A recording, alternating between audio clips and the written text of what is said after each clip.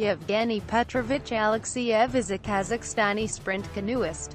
He won a gold medal as a member of the Kazakhstan men's kayak 4 at the 2002 Asian Games in Busan, South Korea, and silver at the 2010 Asian Games in Guangzhou, China. He also captured a bronze medal, along with his partner Alexey Podoinikov in the men's kayak doubles at the 2006 Asian Games in Doha, Qatar.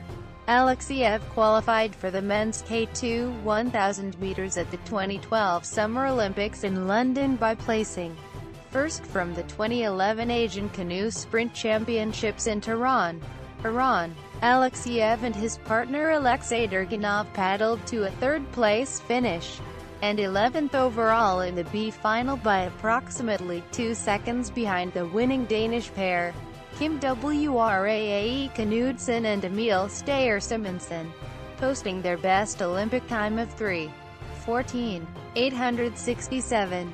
Three days later, the Kazakh pair edged out Japan's Momotaro Matsushita and Hiroki Watanabe for first place by 24 hundredths of a second in the B final of the men's K2 200 meters, clocking at 35, 494 seconds.